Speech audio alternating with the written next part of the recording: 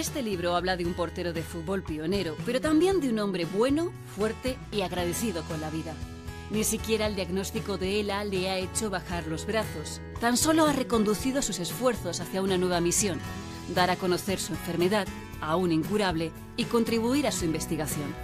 Este libro habla de Juan Carlos Unzué y lo hace a través de la voz de las personas más importantes de su vida y su carrera.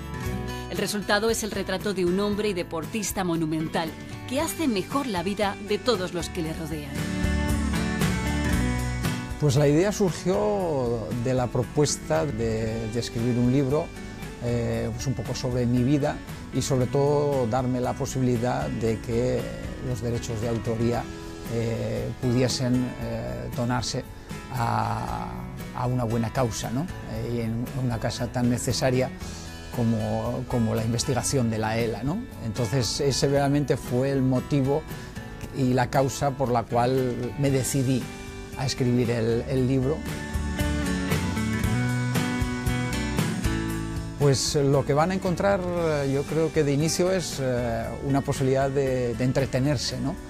Eh, segundo, bueno, pues quizá conocerme un poquito más eh, a mí como, futbolista, como persona. Además de esto, yo creo que la parte interesante, por lo menos para mí, creo también para, los lectores, es, que vamos a decir que no me van a escuchar a mí exclusivamente, contar un poco lo que ha sido mi vida, sino que la van, a, van a tener una visión desde, desde las palabras y, las, y las vivencias que otros compañeros, algunos de ellos pues, conocidos y, muchos de ellos pues, eh, eh, personas importantes dentro del mundo del fútbol, eh, han tenido sobre nuestra convivencia.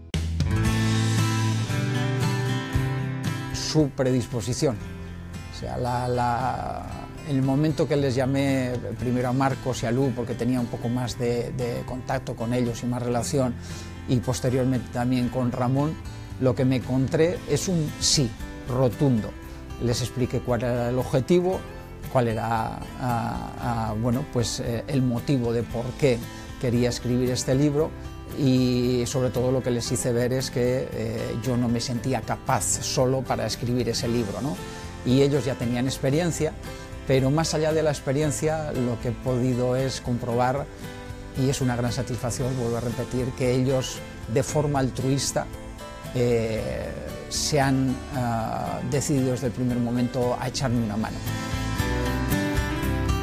Poder percibir y sentir eh, pues ese cariño y respeto que, muchos eh, compañeros, familiares, amigos me tienen. ¿no? Y, también una reflexión ¿no? Ah, sobre, sobre esa forma de actuar.